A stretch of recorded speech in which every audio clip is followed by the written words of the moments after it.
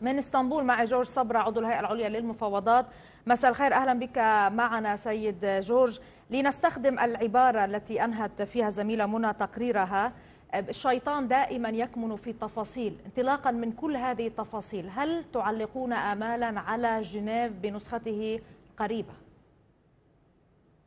يعني حقيقة إذا كان استمرارا للنسخات السابقة في الرابعة والخامسة وما قبلها لا يمكن أن يعول عليه.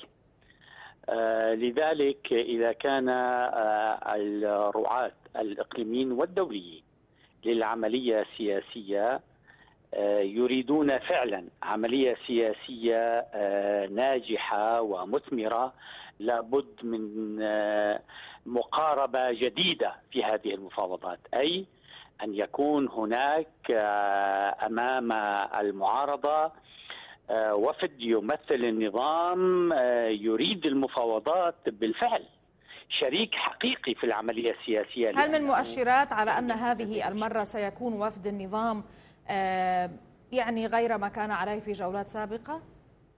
للأسف ليس هناك ما يشير إلى ذلك خاصة باستمرار الدعم الروسي والدعم الإيراني له الذي يوقعانه بوهم أن بإمكانه أن يستمر بالحل العسكري القمعي الحل الإجرامي الذي لم يقدم شيئا في الحقل السياسي إنما زاد عدد الشهداء زاد عدد الجرحى وزاد من حجم الكارثة السورية.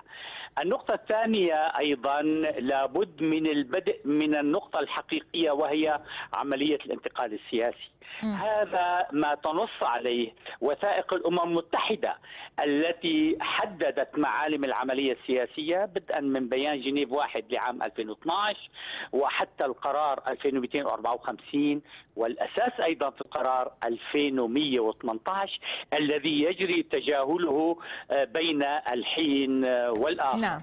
النقطة الثالثة أيضا لابد من أن يوضع في الاعتبار الجريمة التي جرى ارتكابها في خان شيخون نعم. استخدام السلاح الكيماوي مرات عديدة م. والتي أثارت حفيظة العالم ويجب أن لا يبقى الأمر في إطار الاستنكار فقط ويبقى السلاح الكيماوي أن... المجرم ويبدأ المجرم ويبقى المجرم طليقا م. هل يمكن أن نشهد انعكاسات ما حدث بخان شيخون بهذه الجولة تؤثر بطريقة أو بأخرى. وموضوع اتفاق وقف التصعيد والذي يشهد طبعا دائما خروقات. ما المصير الذي تتوقعونه؟ طبعا أنتم كنتم وما زلتم ضده. وكيف يمكن ربطه بالعملية السياسية؟ هذا الاتفاق أقل بكثير من أن يرتبط بالعملية السياسية ولا أدل على ذلك من أن الأمم المتحدة كانت مجرد مراقب، الولايات المتحدة كذلك أيضا وحتى الآن الإدارة الأمريكية على لسان أكثر من شخص من الذين يمثلونها تتحدث عن ضبابية هذا الاتفاق كذلك عدم وضوحه وعدم شرعيته أيضا.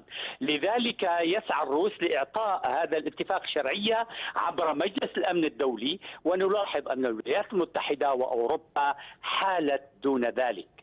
نعتقد أن جنيف القادمة يجب أن تعود إلى السكة الصحيحة وهي أن تبقى بأيدي الأمم المتحدة وبإشرافها نعم. وعلى هدي القرارات الدولية. أنا أشكرك جزيلا من إسطنبول سيد جورج صبرا عضو الهيئة العليا للمفاوضات